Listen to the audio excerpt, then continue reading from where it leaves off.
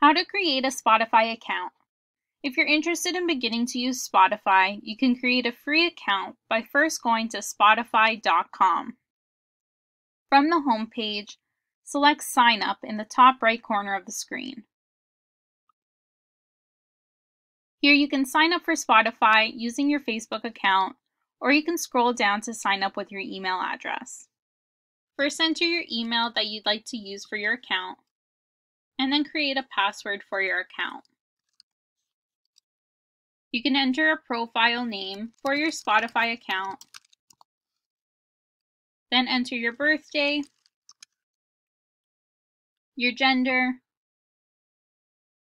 and finally you can agree to the Spotify terms and conditions. Once all of your details are entered, click Sign Up. Your account has been created and Spotify will automatically download the Spotify app to your desktop computer.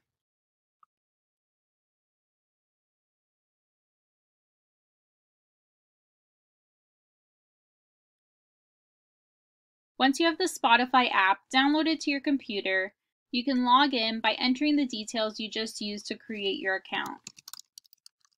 Then click Login.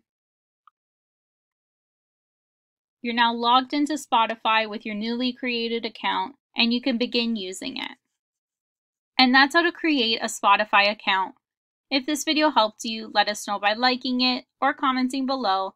And don't forget to subscribe for more how-to instructional videos.